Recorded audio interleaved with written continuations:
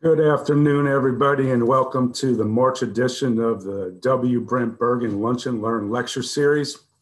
I see Brent is online with us today. Uh, good to see you, Brent.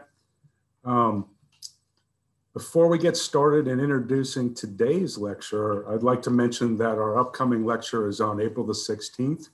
Uh, for the Lunch and Learn uh, for April, we will have uh, Dr. Faye Jensen. She's the CEO of the South Carolina Historical Society.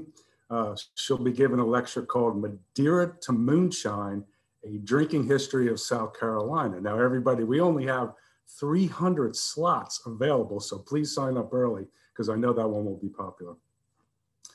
Today, I delight in an opportunity to introduce uh, a, a, new faculty colleague to uh, our Native American Studies Center patrons, uh, to uh, folks that come from near and far for lunch and learn, and of course to the Lancaster community. Uh, Dean Todd Lekan arrived in the midst of the pandemic. The first time I met him, I said, "Hey, it's like you're the new fire captain, and you arrive at the fire station, and the building's on fire."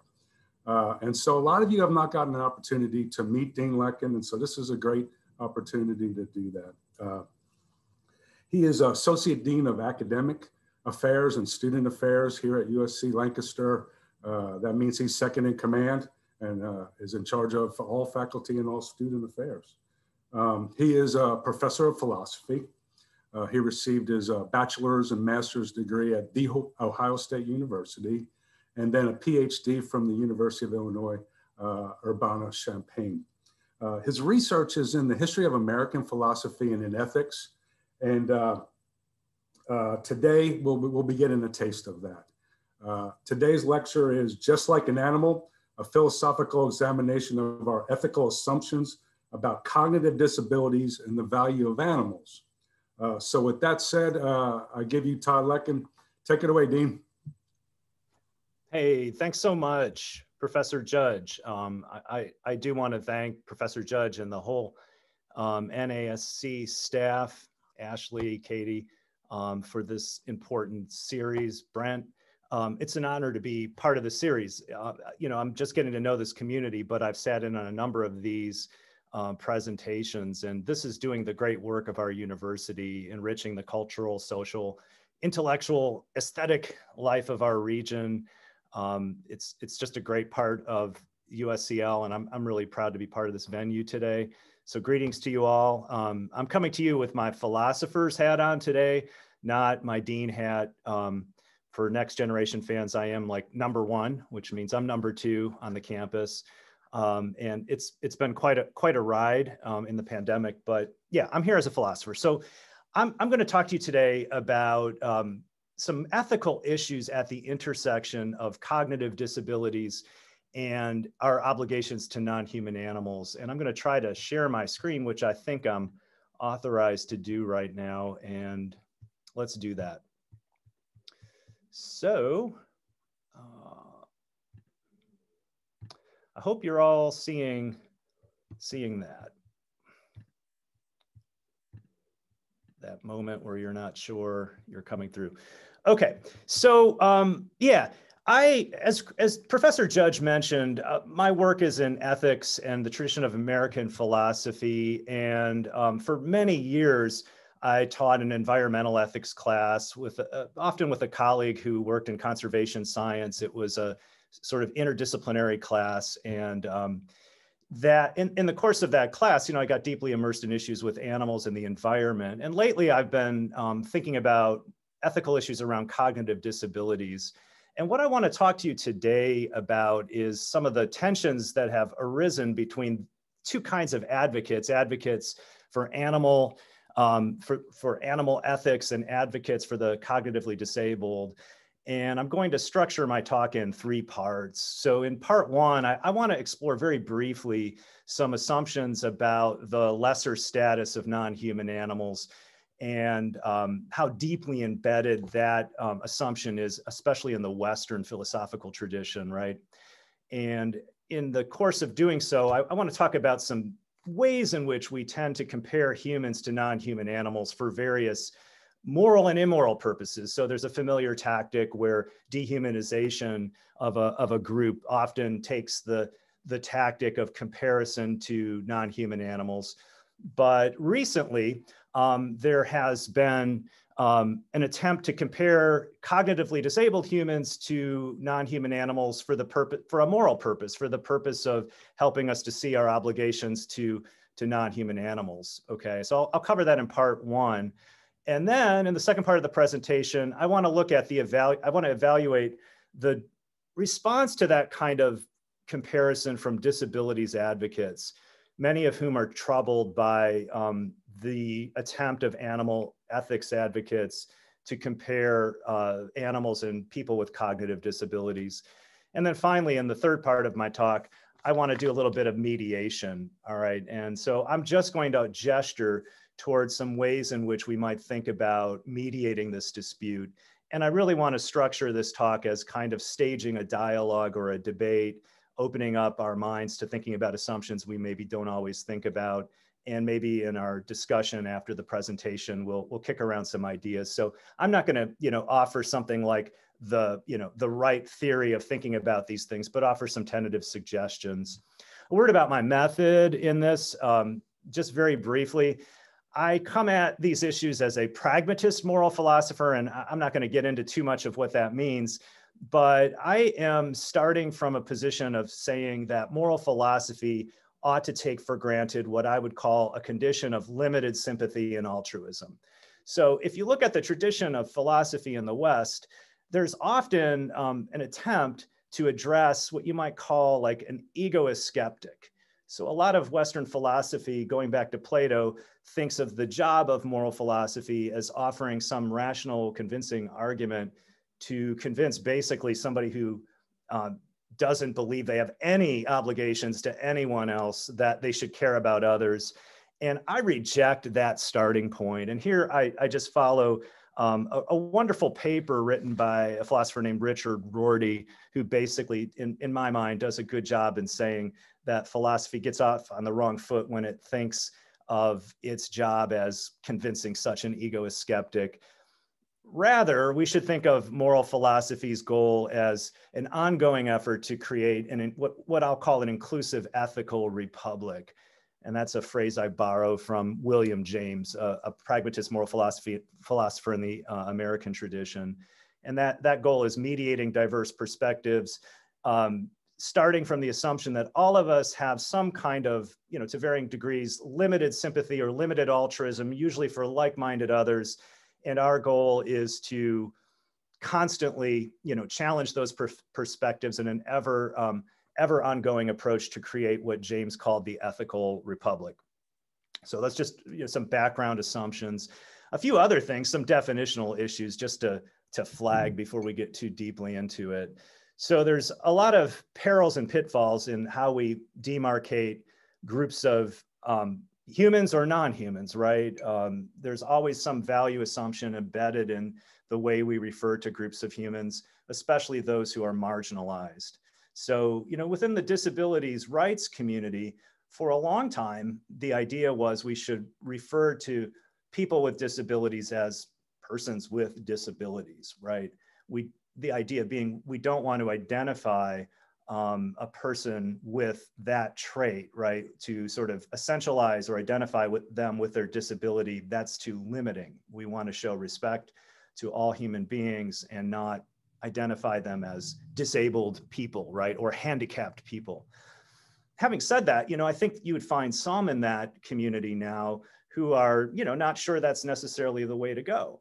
Um, many these days, not all people in the disabilities rights community, but many would say that disabilities are something that is core and essential to the identity of, of people in that group and maybe even something to celebrate. And so we shouldn't detach the trait disability from the person. I just want to flag that, you know, like to, to let us know that there's um, there's there's a lot of um, issue in just even how we refer to such marginalized groups. And for the most part in this talk, I'll, I'll use the phrase cognitively disabled humans. The same thing applies for sure to how we talk about our uh, non-human animal cousins on the on the planet, right? It's a curious fact that for the longest time, human beings like to divide themselves into tidy metaphysical categories. There's humans on the one side and everything else, all the non-human animals, which we just call animals, right? But you know, anyone with a bit of biology knows that um, we share a lot of DNA with our chimpanzee cousins. We're animals. And so it is peculiar that we have these categories, these conceptual frameworks that dice in a dualistic way um, the animal, the, the kingdom of beings into animals and non-human animals.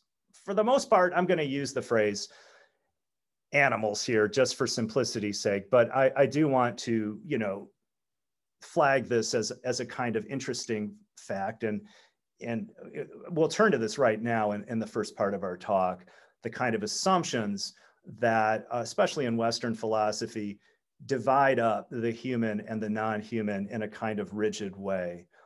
So this, this is interesting, a human animal divide.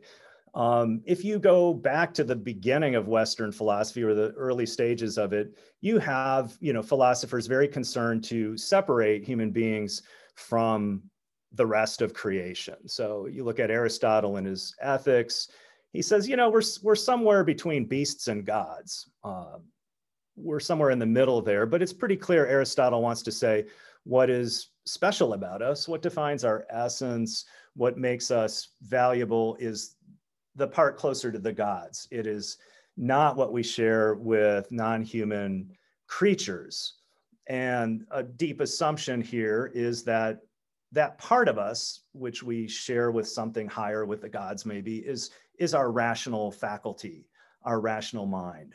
And Aristotle's very clear that that part of us is higher than and rules over the body. It's kind of like, you know, um, the boss, right? The body is ruled by the rational mind. And in fact, um, we're expressing our nature more truly when, when reason governs that appetitive part of our soul.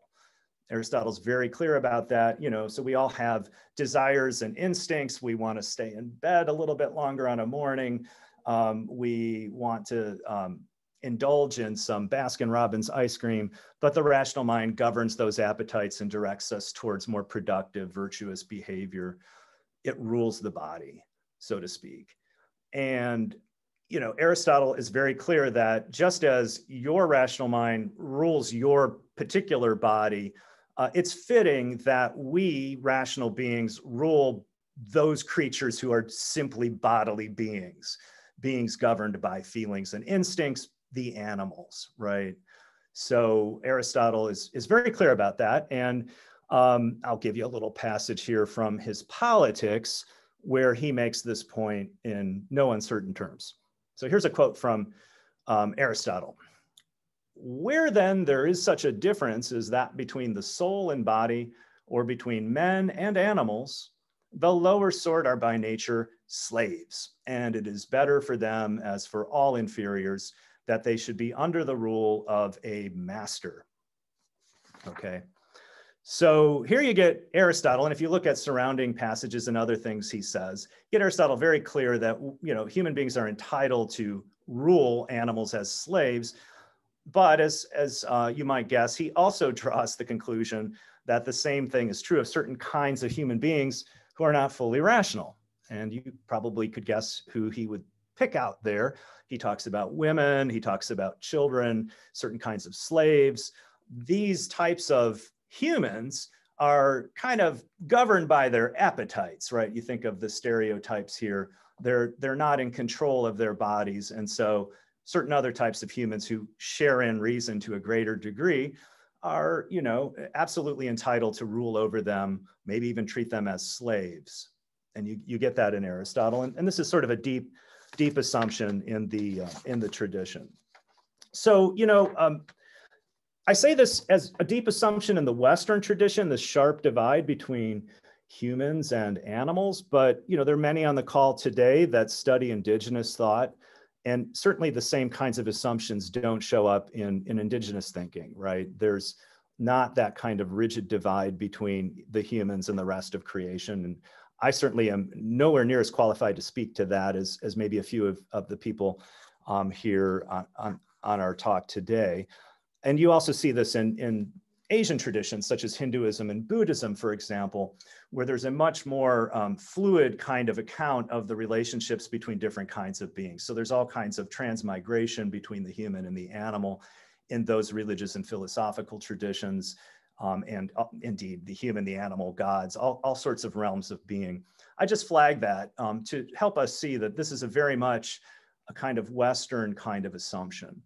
And of course, there are then resonances with this Western philosophical assumption of a sharp divide between the humans and animals and what you get in some strands of the Judeo-Christian tradition, uh, especially the kind of image of God thesis in the Judeo-Christian tradition that human beings are created in the image of God and, and therefore entitled to um, rule over the rest of nature.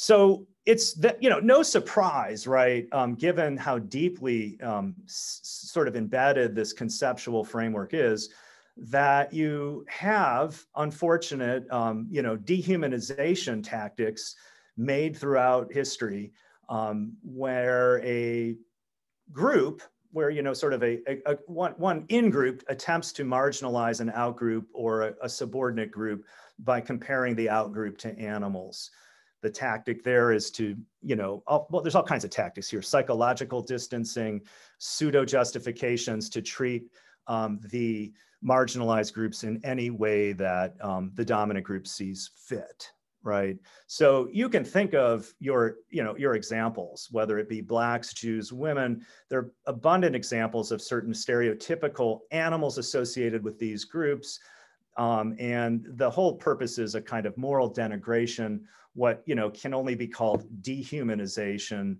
and um, that is a familiar tactic and i would call this like an immoral purpose of the comparison between certain kinds of humans and animals.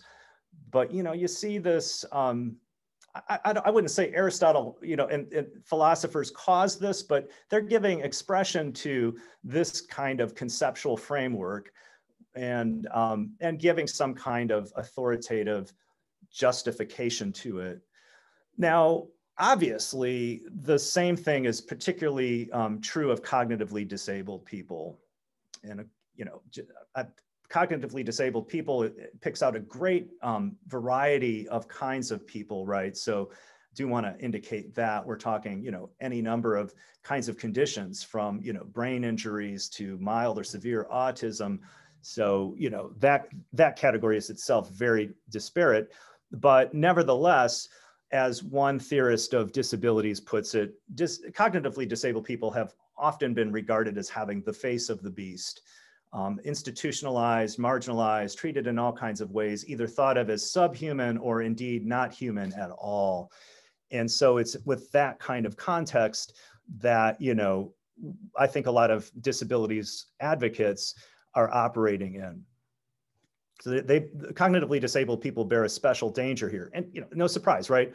They lack the share of what is often thought of as being the defining trait of humanity, rationality or some kind of rational capacity. Now, at this point, you might want to say, look, uh, we want to include all human beings in a kind of universal um, scheme of, of universal equal human rights. So let's draw the moral line around the entire human race. It's being a human that morally matters, okay, um, that gives you equal moral status. But philosophers uh, have pointed out that it's kind of hard to get clear on what is it about being a member of the human race that confers special moral status, right? Um, is it genetic humanity? Uh, if so, what's so special or significant about that? Why does genetic code have moral significance? Why do we draw the line around something like a species human being?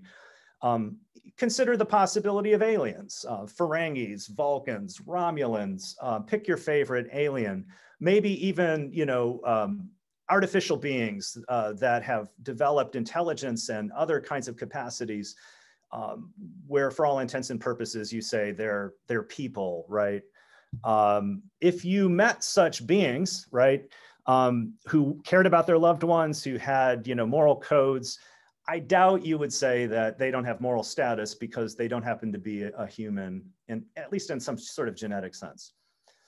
So what does that mean? Well it's very uh, tempting and attractive, philosophers keep going back to this, to sort of think it's not your species that confers moral status. It's something about your psychological characteristics or properties, right? It's something about those properties, those functional characteristics independently of, of your species. Um, you know, it's species maybe isn't the point, it's these psychological qualities. And yeah, maybe um, they tend to be um, associated with certain types of animal species, but there's no necessary connection there, right? There's a contingent connection between that. Um, so there's a little picture for Battlestar Galactica fans um, of some Cylons. And um, so they, you know, for all intents and purposes, seem like fellow human beings. And if you watch that series, there's all sorts of surprises about who was a Cylon all along. Okay. Well, there we are. So kind of rounding into the last part of the, the first section here of, of my talk, I want to now like turn to the animal rights philosophers or animal advocates who have made a comparison to cognitively disabled humans for what they regard as a moral purpose, not to dehumanize, not to denigrate, but rather to show us that we should be treating animals better than we have been. And um, that's what I'll do right now. So I want to start actually by going back to the late 1700s and just looking over a quote here from British philosopher Jeremy Bentham. Okay. So Jeremy Bentham's an interesting guy. He is one of the founders of this school of um, thinking called utilitarianism and a hugely influential philosophy. But Bentham makes this kind of comparison between human beings and animals to, to show that maybe animals should matter more. So if you'll bear with me, I think I'm going to just read this quote. Um, Bentham writes, uh, the day may come when the rest of animal creation may acquire those rights which never could have been withholden from them but by the hand of tyranny.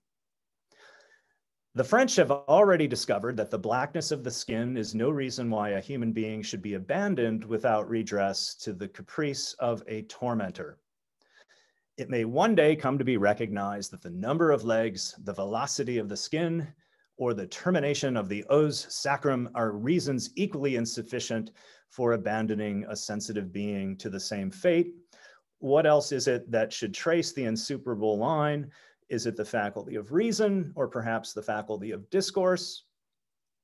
But a full grown horse or dog is beyond comparison a more rational as well as a more conversable animal than an infant of a day or a week or even a month old. Suppose they were otherwise, what would it avail? The question is not can they reason, nor can they talk, but can they suffer?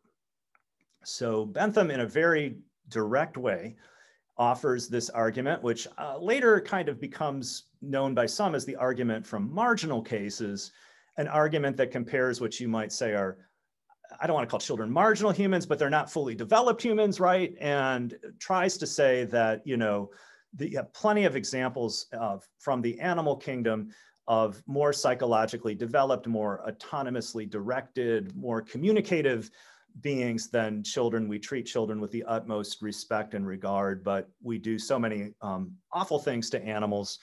We, uh, you know, we slaughter them for food in painful conditions. We experiment on them. We use them for entertainment, so on and so on.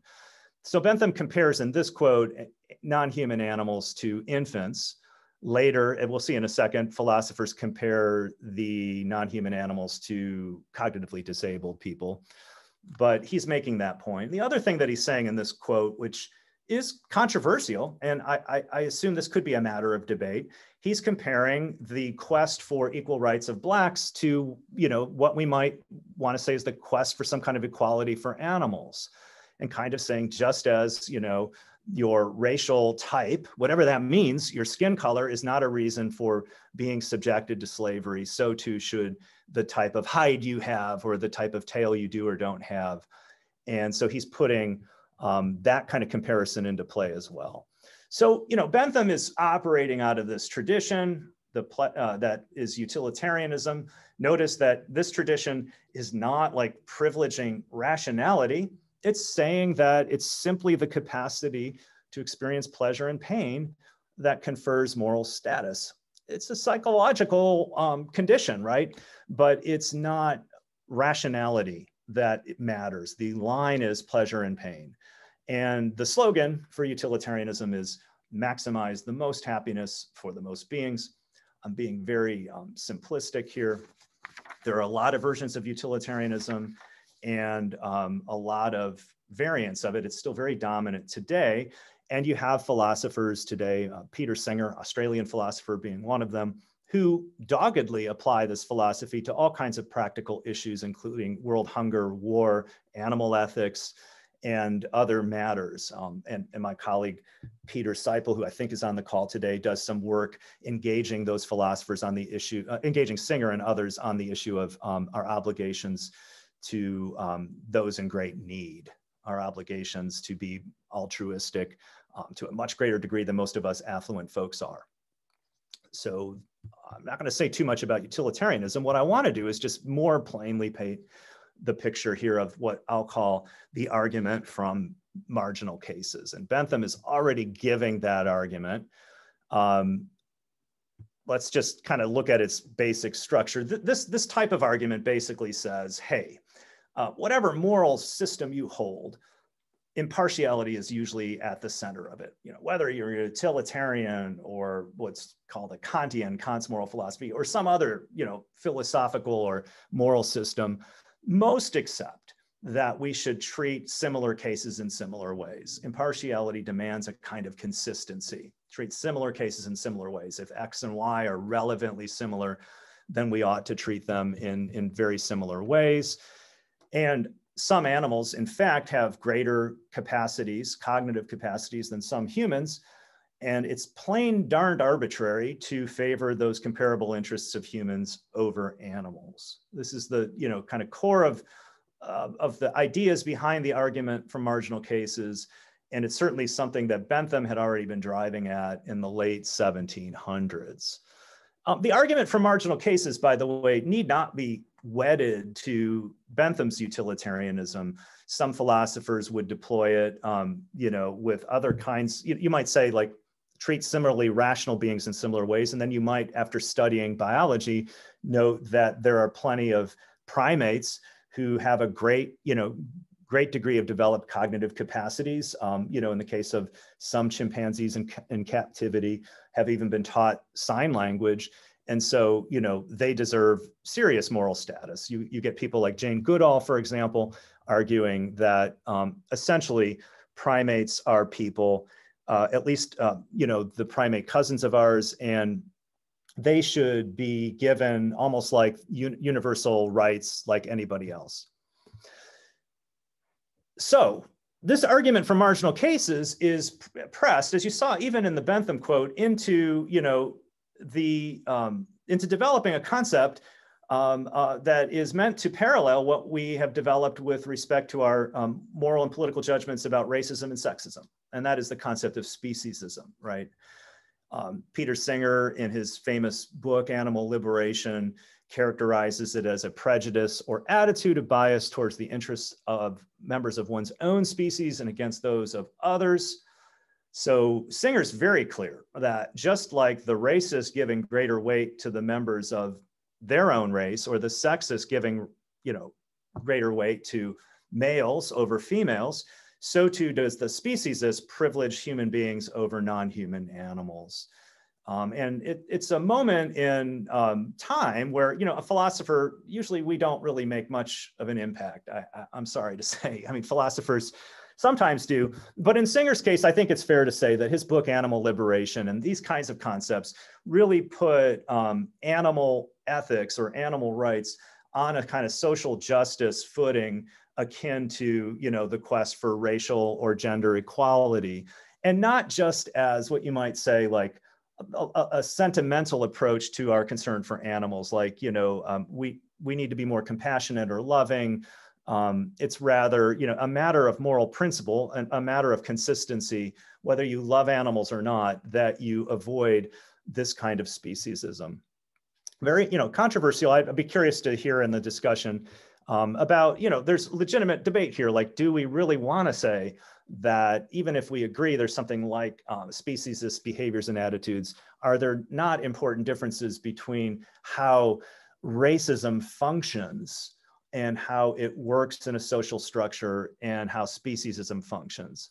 Aren't there real differences with the way that the um, subordinate groups um, receive these biases and, and so on? So we might talk about that afterwards. All right, so what, what do we got here? Well, look, um, we've got psychological properties accounts, right? That are basically um, going to say something like psychological development, whatever you know that means, comes in levels. Okay, and then it becomes very tempting and hard to resist the assumption that the more of that you have, the more you have moral status, or the more moral status you have. It's kind of like there's a correlation between your psychological development and your value. So you might pick on like rationality or cognitive and say that levels, right? That levels up or down. The more rational, the more co- more cognitive capacities, the more valuable you are. And some philosophers like Jeff McMahan, I'll talk about in a second, seem to go in that direction.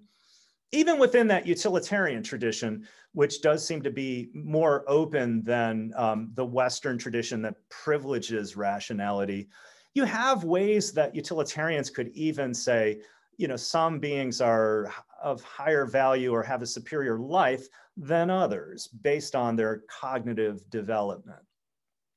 So real quick, like John Stuart Mill says things like, you know what, not all pleasures are equal. The pleasures of working through a complex math problem, the pleasures of uh, listening to a Jerry Garcia guitar solo, uh, the pleasures of learning how to play classical gar- uh, violin are higher than the pleasures of having you know a six pack of beer or indulging in you know some pizza and he's he sort of says that that means that those who have those higher cognitive capacities enjoy some kind of superior sort of experiences. So even in that utilitarian tradition you get a, a leveling kind of idea.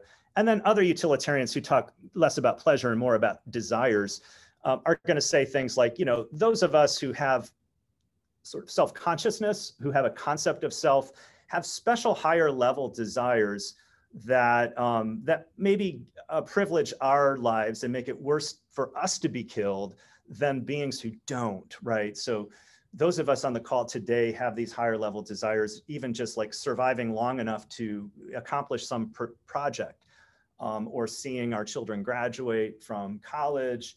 We have these higher level desires that kind of stem from, you know, our self-consciousness, our possession of abstract concepts, and a, a cow in the field or a pig, um, arguably don't don't care about their lives or desire that their lives go a certain way. Um, maybe they just desire to you know, satisfy various kinds of needs on the more biological level. So this then leads to um, Jeff McMahan, who kind of just doubles down and says this. Um, basically, McMahan taking this kind of leveling assumption says this. You know what, people? Um, the treatment of animals is probably governed by way stronger constraints than we've traditionally supposed. So uh, McMahan wants to say if you take these kinds of uh, argument for marginal cases seriously and a leveling assumption about you know greater cognitive capacity meaning greater worth we probably need to elevate the way we treat animals. But controversially, McMahan says it might also mean that cognitively impaired people have been given more respect than they are uh, than they are due.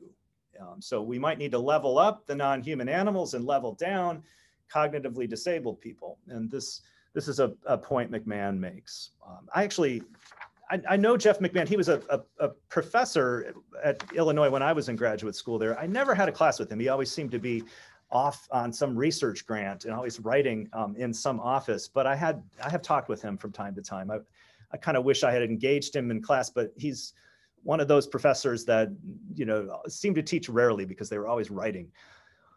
All right. So take a deep breath. I hope I'm not going too fast here. We're ready for part two um, the argument, uh, response from disabilities advocates.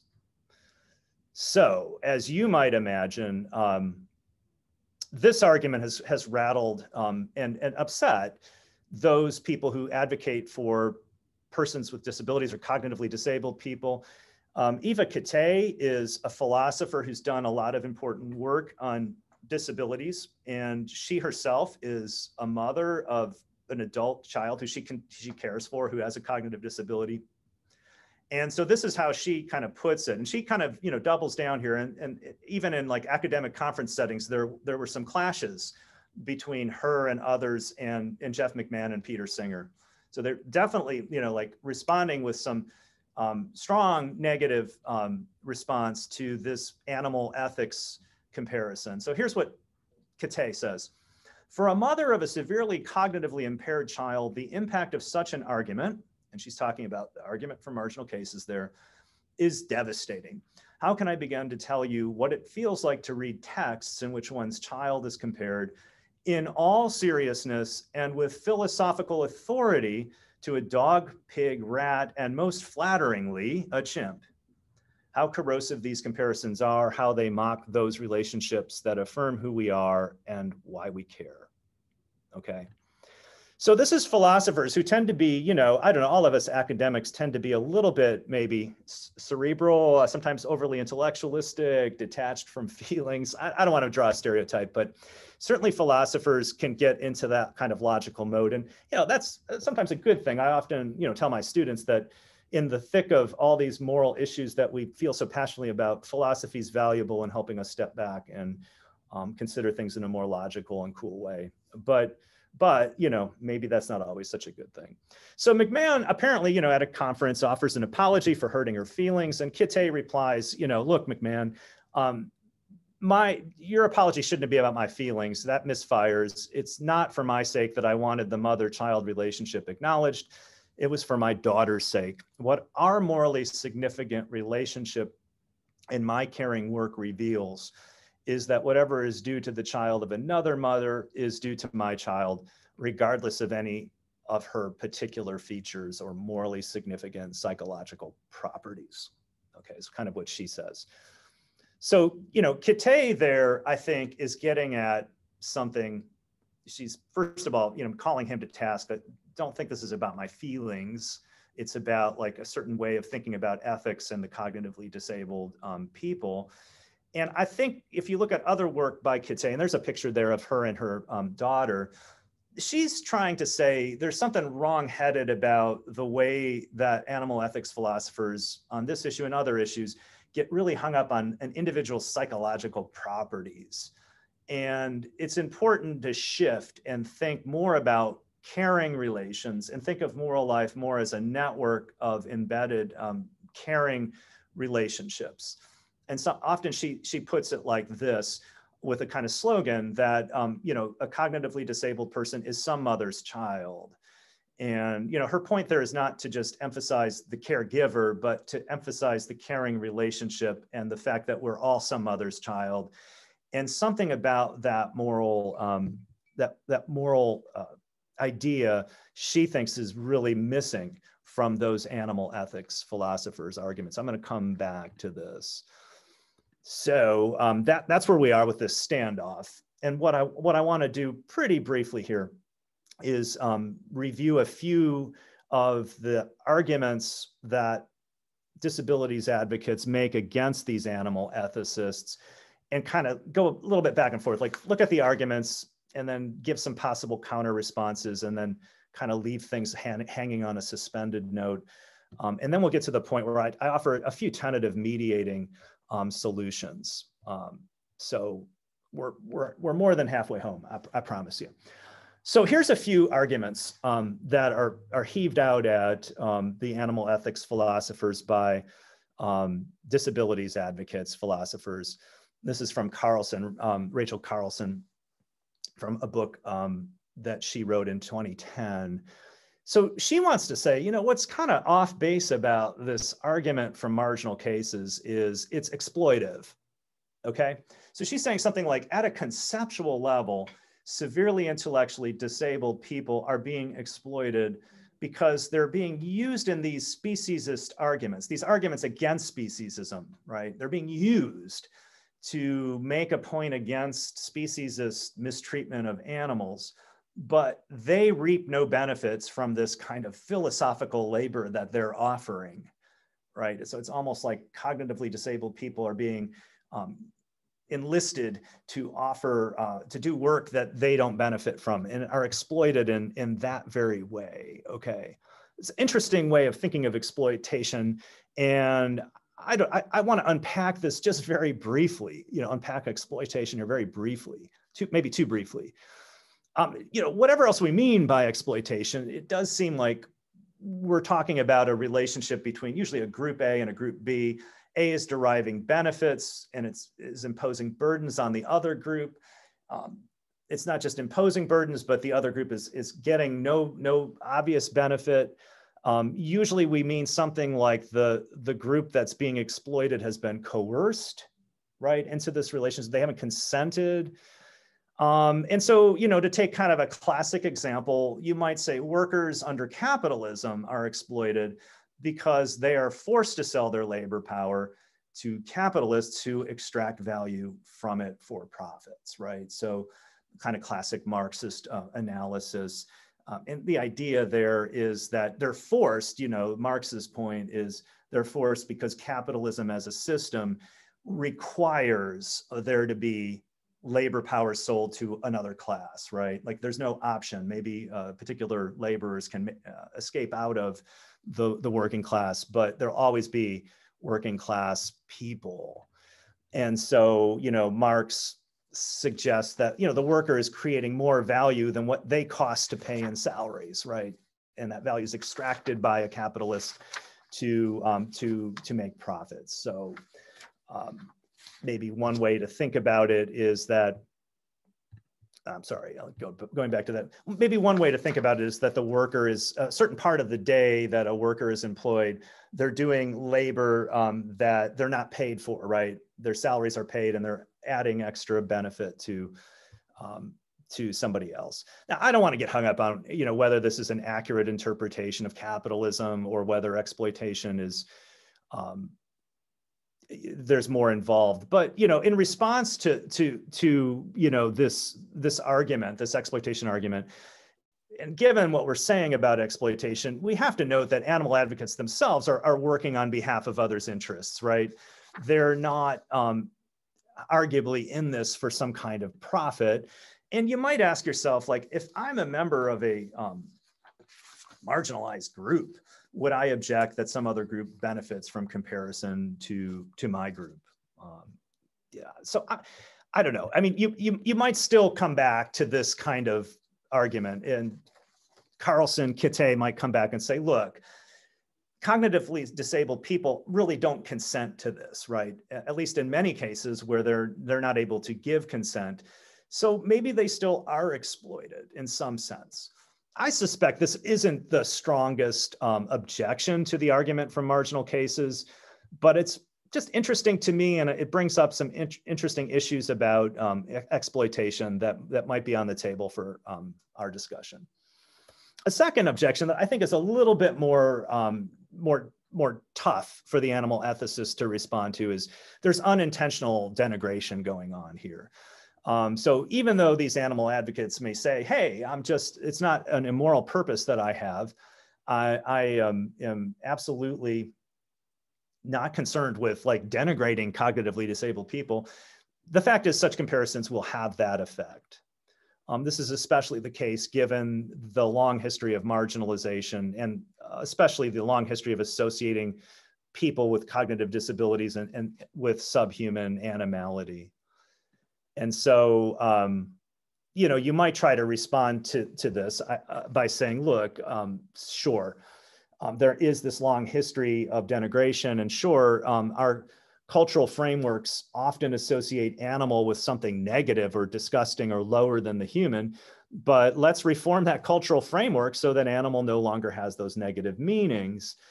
And that's what an animal ethicist might say in response to that kind of unintentional denigration objection. Um, and i think you know that might be true but like still one must agree i think that it's it's risky now given the conceptual framework we operate under now which does have you know for better or worse this hierarchical framework, which is often used to dehumanize marginalized groups, um, it's still a risky thing to promulgate the argument from marginal cases and make this kind of comparison. So there we are. Okay. I am almost done here, and I, I promise that part three is actually fairly brief compared to the other two parts. So I'm going to be um, wrapping up pretty soon, and then I hope we, you know, might have some discussion about these matters. And so this is the mediation part. My just some tentative suggestions about mediation. Um, and I have like two basic things I want to leave us with. One would be, you know, maybe we need to question that levels assumption, right? That idea of levels of this correspond to levels of moral status, levels of psychological development you know, correspond to levels of moral status. Replace that with a different account. And then I also, I think more promising for our talk today, want to suggest that we think of what Kittay is up to and the what the animal ethicists are up to as something more like provisional provocative strategies to prompt us to overcome moral blindness. Uh, I know that's a mouthful, but I, I want to maybe see if this works. Like, let's think of these as not exclusive clashes, but provisional strategies remedying specific kinds of moral blindness. All right. How about the levels assumption? I, I do think that the concerns about this argument for marginal cases, you know, arise from um, arise from the claim that comparison entails shifts in overall moral status. So a shift down for the cognitively disabled, a shift up for non-human animals, kind of thing McMahan was saying in his quote. So, I mean, easier said than done. I think, you know, we ought to entertain abandoning that kind of leveling assumption and thinking about replacing it with some other approach to the threshold for mattering from a moral point of view or to having moral status. Um, so I would throw that out there. I do think maybe behind the scenes, right, is that McMahan assumption, that assumption that even Singer would make about this kind of leveling up, leveling down. Um, so, you know, here's my, I'm going to really dance over this quickly, but my my own approach, which I'm, I'm, working out in some of the things I'm working on, is to kind of say that um, sentience utilitarians are sort of on the right track that sentience marks some kind of important threshold. And um, i don't want to go the utilitarian route but like it is a significant threshold and it might be a place where we sort of say something like let's take this as a starting point um, that all of us who are moral agents right and that's a vast smaller group of animals than everybody out there who isn't a moral agent who can't reason with from moral principles all of us have presumptive obligations to conscious subjects, and even when they're not conscious moral agents. And you get this expressed very emphatically in, in a quote from William James. This is from an essay called The Moral Philosopher and the Moral Life. Take any demand, however slight, which any creature, however weak, may make, ought it not for its own sake to be satisfied? If not, prove why not. And so, you know, I think what James is saying is not that, look, it's not the kind of unreasonable view if there's a demand out there you have an obligation to satisfy it right it's more like if there's a demand out there or a desire of a conscious subject it has a presumption of some kind of importance and i you know would would entertain like maybe developing an account that i would call a pluralist view of well-being and I'm just going to dance over this. Like the core idea would be let's look at individual capacities and not membership in a group or psychological degrees and, and approach a, a being's well well-being, a, an entity's well-being that way, and think of our obligations in, in those ways. Um, a pluralist account of well-being. Uh, some philosophers call it an individualist account and I, if we, if you want, we can talk about that. But I just want to gesture that um, maybe a replacement view would work. What I do want to say, I think, is more to germane to what I want to talk about, conclude today with, is, is something like this. Um, why don't we think of Kittay's some mother's child and focused on caring relationships, like that kind of slogan, that kind of approach and the argument of moral um, argument from marginal cases as strategies for overcoming moral blindness these are strategies that address aspects of our moral life, but hardly the entire terrain. They are provocations that are trying to get at specific limited perspectives of specific moral agents. Okay. So it's really important to get concrete here and to always ask whose blindness is at stake and um, from where does that blindness come come from uh, what perspective are we talking about and i'll say a few things about that here in, in a second but think of these as strategies meant to address particular kinds of limitations so to go back to my you know, original assumption, moral philosophy is this ongoing struggle that's continuous with what we're doing in moral life to create a more inclusive ethical republic that, um, that is always in the business of remedying partial perspectives and limited altruism. And that's never done. So think of these provocations as having, you know, a double, each one having a double impact. So the slogan, some mother's child, is prompting us, now, who, who are we talking about here? Those of us not in direct relation to disabled persons or cognitively disabled persons to take on the perspective of caregivers or take on this perspective of those caring relationships and to do that kind of perspective shift. It's also prompting us, the non disabled, to imagine ourselves as possibly vulnerable disabled selves that, that we might become. Okay. So, you know, all of us at one point were helpless, cognitively undeveloped little blobs, right? We were all children at one time. And so um, we all, you know, have that kind of vulnerability or dependency and, and too easily forget it and privilege a certain kind of autonomous, you know, sort of outlook. Many of us are, are headed in various degrees of disintegration, decline, and so on, and may one day become um, cognitively impaired or disabled in some way, shape, or form. And so, you know, Kittay's provocation to think of these caring relationships can have this sort of double impact. Um, there's a philosopher by the name of Alasdair MacIntyre, whose book, um, Dependent Rational Animals, really makes this second bullet point, really, really makes this point well, that he kind of thinks it's a virtue in us, a virtue of humility and a self-acceptance to recognize that fragile vulnerability and not think of us as these like, you know, permanent cognitively self-contained beings. The argument for marginal cases, on the other hand, is prompting us to transfer, transfer the care we might feel for vulnerable humans, maybe cognitively disabled humans or children, to non-human animals, right? To kind of transfer that care um, and to do that perspective shifting. I remember teaching environmental ethics um, and one day, uh, I don't know why I decided this, but showed some footage of a, of a head injury lab at the University of Pennsylvania. It's footage that sort of leaked out of graduate students um, giving baboons head injuries and all kinds of things going wrong, not using proper surgical procedures, mocking the baboons and so on. And um, you know, and seeing this this footage was it was really devastating to watch. And you know, I had to process this with my students but um, afterwards, you know, sort of seeing the, the baboons in what looked like high chairs waiting for this experiment as a, a father of young children at the time, it was like, wow, like that perspective shift really kicks in. Like these are, you know, these are like children. It also, I think the argument for marginal cases prompts us humans to think of our own animality and, and embodied existence, right? To kind of help to notice like, wow, yeah, we do make this like strange assumption that we don't, that all the bodily parts of us, our physicality, our, our, our animality is something to, you know, to ignore or that we're somehow separate from that, not a, maybe not a healthy attitude to have.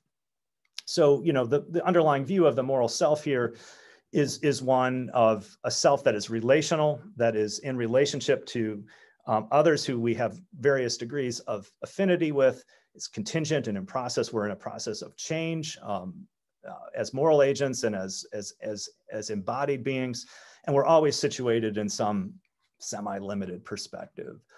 And so a, a, responsible moral agency would one would be one where we're continuously striving to, to create this inclusive ethical re republic, extending limited sympathy.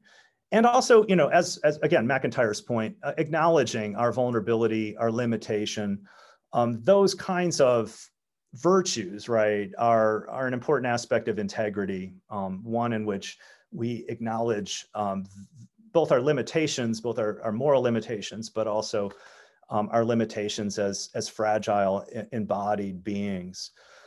And so I hope that was semi-coherent and um, provoked you to think about things in different ways. Again, I'm, I'm, I'm more trying to open up, st uh, stoke out some uh, thought about our assumptions and encourage dialogue and, and debate. And I want to thank you for listening. And that's all I have for now.